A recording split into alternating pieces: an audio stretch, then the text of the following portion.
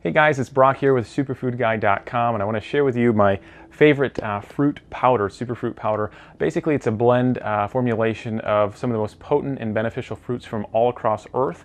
Uh, I'll, I'll, blend it together and put into this powder form.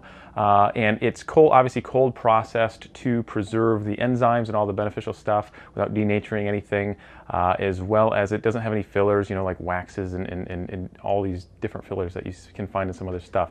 Uh, it does not contain any of those things. So you can use this. what I do is I tend to put it in my shake on a daily basis, uh, or you can just put it with purified water, shake it up and drink it. It's a it's an alternative to like you know a soda or or something like that, or any other weird drink with tons of sugar. It only has one gram of sugar, which is absolutely awesome. I mean, you consider an apple, and look how many grams of sugar just is in one apple. And so in this entire thing, it's per scoop that you use, you only have about one gram of sugar. So it's really, really cool. Uh, so you get all the benefits without the other stuff that you, your body doesn't really need a lot of, you know what I mean?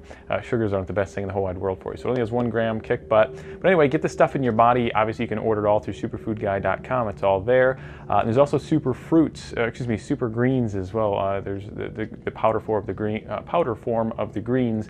Uh, the same thing, the best blends from all across Earth spirulina, chlorella, and all a whole list of other stuff that's all inside of it.